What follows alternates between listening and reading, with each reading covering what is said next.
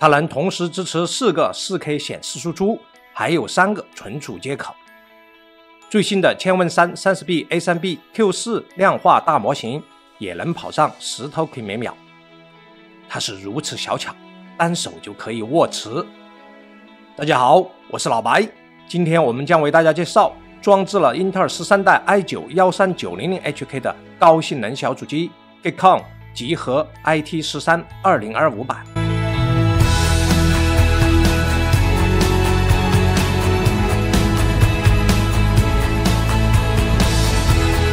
十三代 i9 英特尔移动 CPU 仍然是英特尔迷你主机中的主流顶尖产品，虽然第一代 Ultra。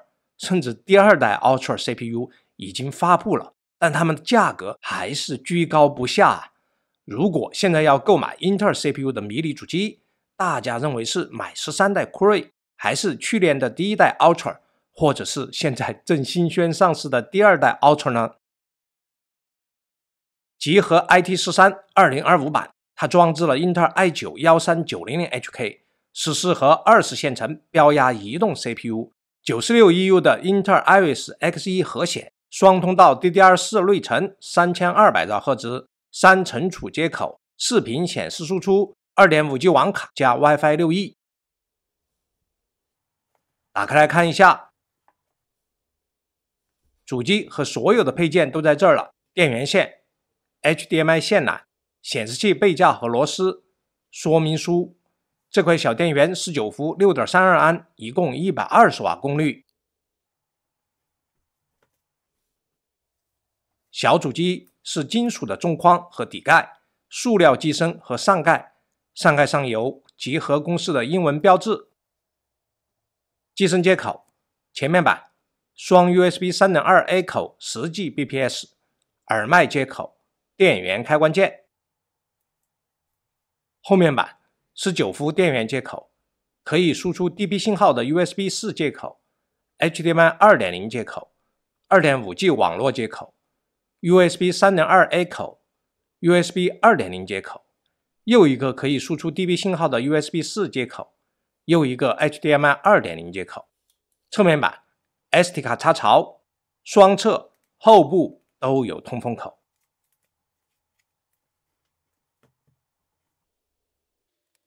柳松底盖脚垫上的四颗螺丝，这是以前英特尔 NUC 经典造型的开盖方式。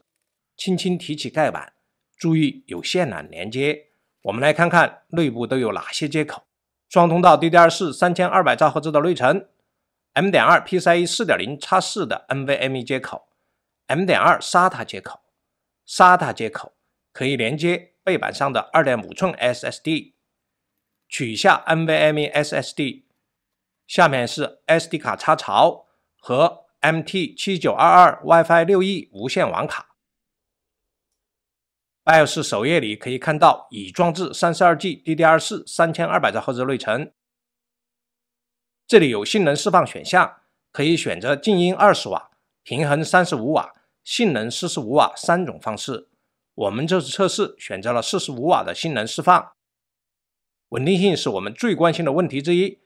我们打开 i.W 跑 FPU 单考的压力测试，CPU 功耗从五十四瓦下滑稳定在四十五瓦，整机功耗从七十五瓦下滑稳定在六十五瓦，CPU 频率稳定在平均三 G 赫兹。我们一直单考了一小时十九分钟，幺三九零零 HK 功耗一直保持四十五瓦，CPU 温度最高九十六度，SSD 温度最高四十度。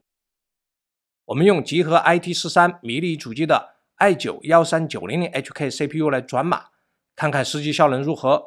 最后结果是十三分二秒，共计七百八十二秒，低于 Ultra 一代和二代的 CPU。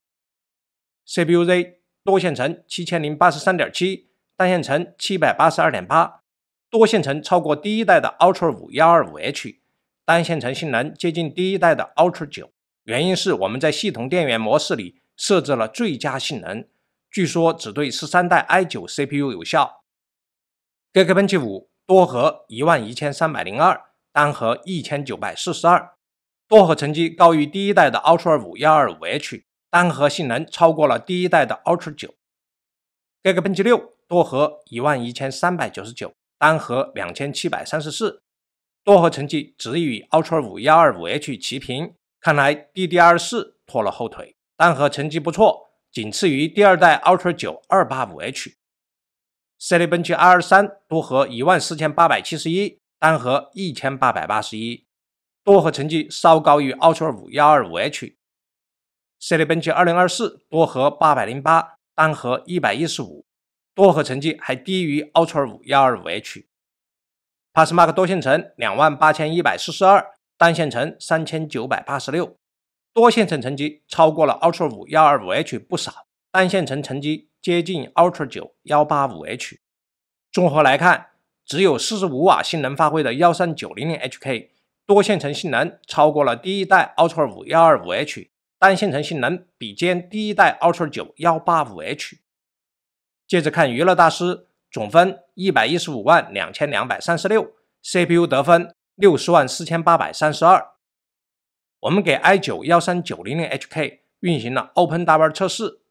AES 七十六万六千八百五十一，叉叉二零四十一万五千三百七十九，CoreMark 四十一万一千二百七十五。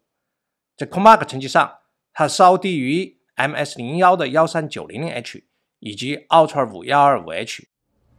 接着我们来玩游戏，英雄联盟幺零八零 P 高画质，最后大团战平均一百帧左右。原神幺零八零 P 中画质，跑起来战斗起来大概五十多帧。这就是九十六 EU Iris X 一核显带给我们的游戏体验。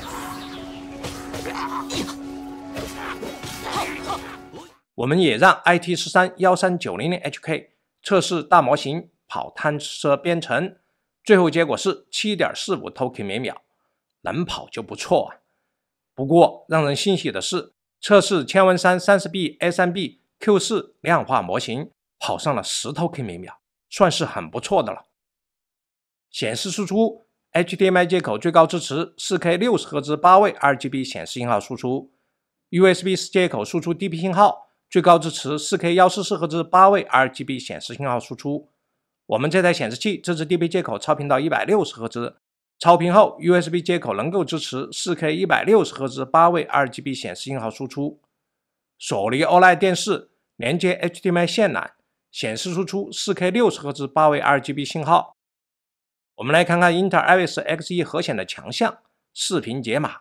它最高能硬解本地 8K 60帧 AV 视频，YouTube 8K 60帧 AV 视频照样流畅播放。出厂 NVMe 硬盘测试4000兆比每秒，这是 PCIe 4.0叉4的入门水平。USB-C 接口存储性能测试3100兆比每秒，这是不错的 USB-C 外接存储的性能。此时，我们另一 USB 四接口连接了高刷显示器，说明我们的双 USB 四接口没有兼容性问题。WiFi 测试，这次是 MediaTek MT 七九二二 WiFi 六 E 无线网卡，跑上了七百兆 bps，算是我的无线网络环境中不错的一类。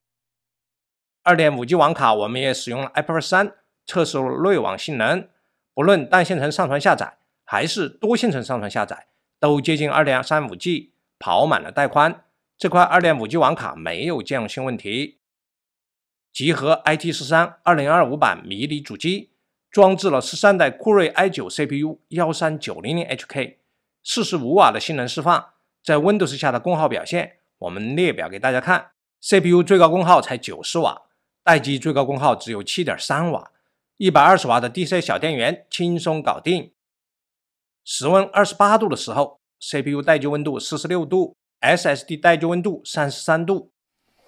这台小主机生产力测试 CPU 满载的时候，机身噪音五十五分贝左右，社会在耳边是四十四分贝。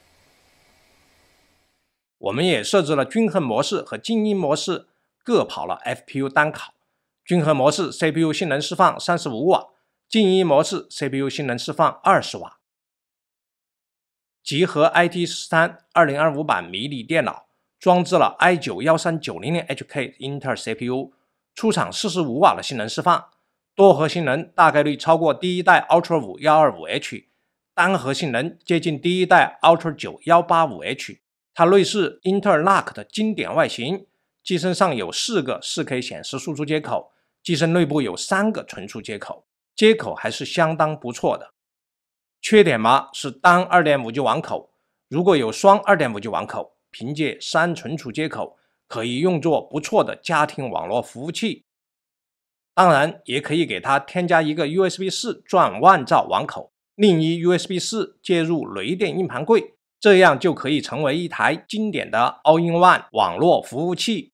总结一下，出厂四十五瓦的性能释放，散热静音都稳定，有四组显示输出接口，三组存储接口，兼容性不错。它有英特尔 NUC 的经典外形，小巧精致，一手可握，做工很好。对于英特尔 CPU 迷你主机有需求的朋友，不要错过它。好了，今天就讲到这里了，我是老白，谢谢大家的观看，再见。